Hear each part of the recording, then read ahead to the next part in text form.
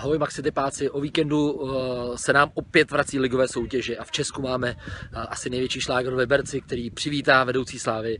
Tam má bod náskok po, dohrávce před Plzní, takže uh, do Liberce přijede pro tři body, ale bude to mít hrozně těžké. S okolností tady máme u nás na soustředí malé slávěsky, takže jsem trochu ovlivněn, ale myslím si, že ten zápas je tak otevřený, že může dopadnout jakkoliv. Já budu sázet to, že padne víc gólů.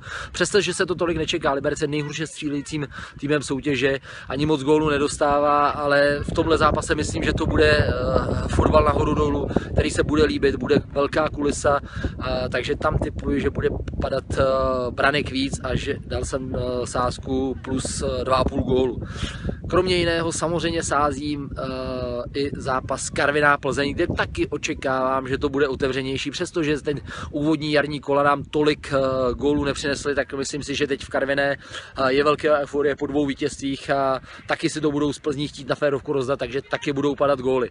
Co se týče jiných soutěží, tak uh, věřím určitě Dortmundu, který doma hostí Ingolstadt. Tam jsem dával dokonce handicap, protože uh, Obama Young, když má a, a spol, když mají tak uh, jsou nezastavitelní a, a góly dávali pravidelně, takže uh, tam jsem dal handicap a potom jsem se také soustředil na španělskou ligu, kde nevěřím moc Realu Madrid, který uh, zajíždí do Bilba.